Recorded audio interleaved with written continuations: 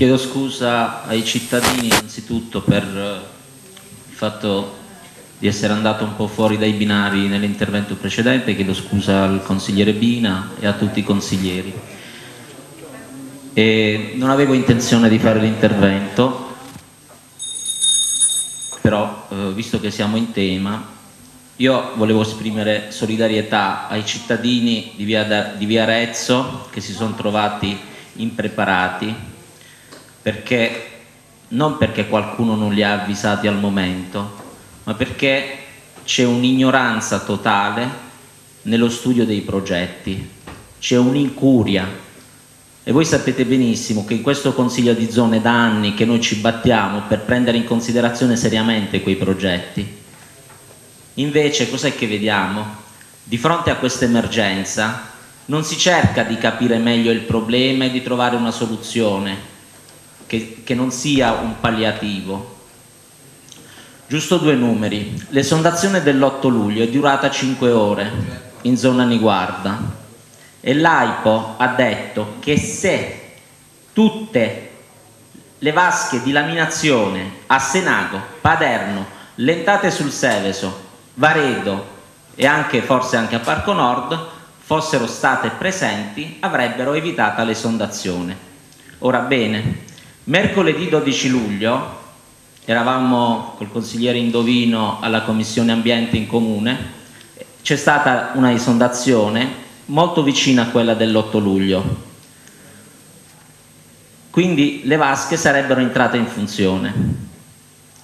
Le vasche sapete che per svuotarsi hanno bisogno di due giorni e mezzo, tre.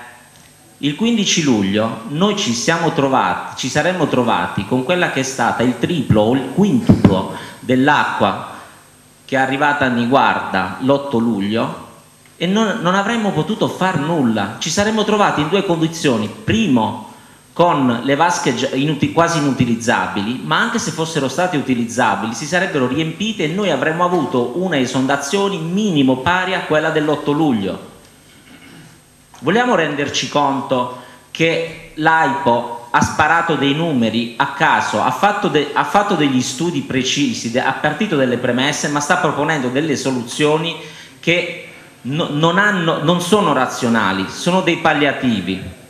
E voglio portare a vostra conoscenza che l'ingegner Mille finalmente l'ha detto in un microfono.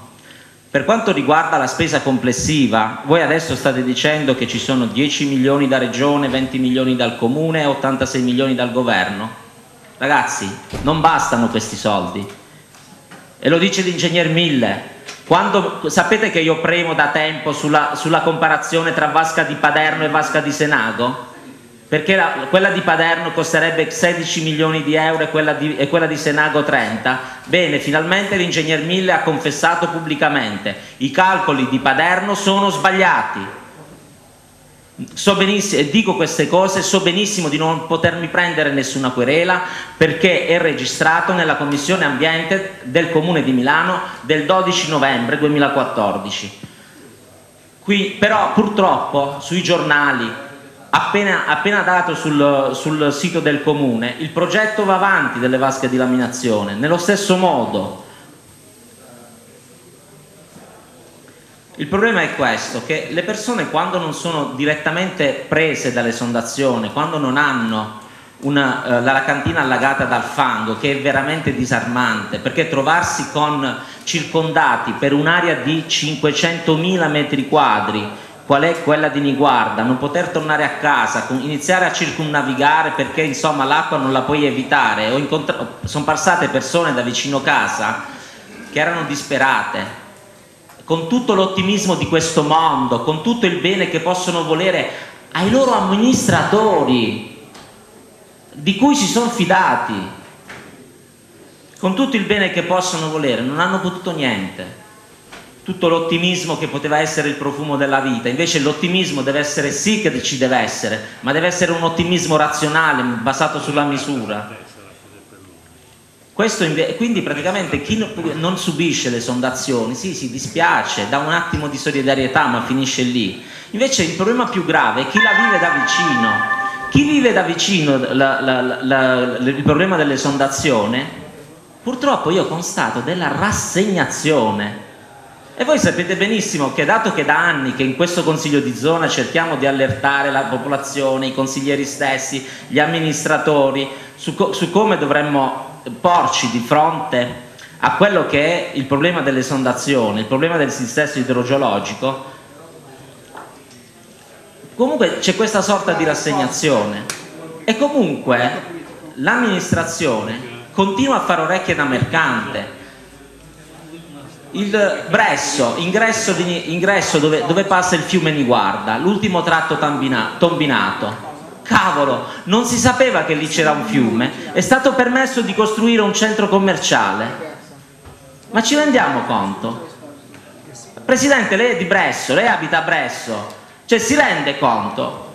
Lei è presidente di Zona Nova, ha lasciato che è, è da dieci anni che è presidente di questa zona non poteva fermarli, lei non può far nulla, non può riparare il marciapiede sotto casa, non può riparare le buche.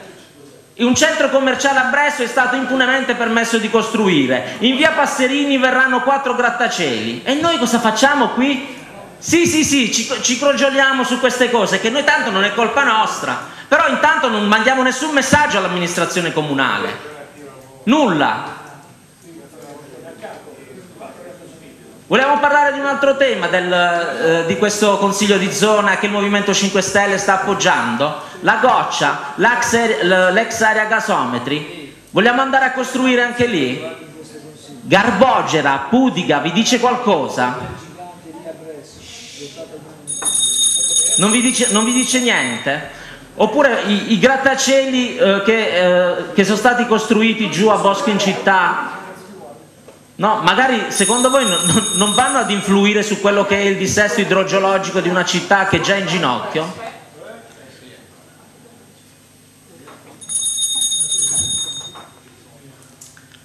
Io non, voglio infierire.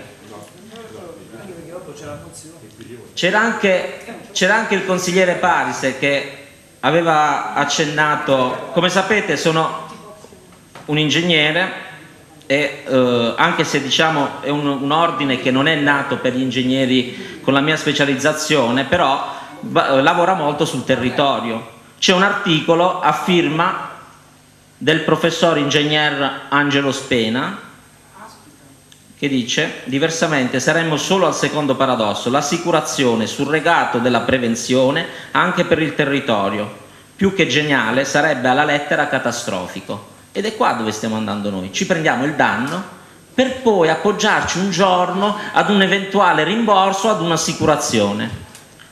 Finisco qui. Grazie.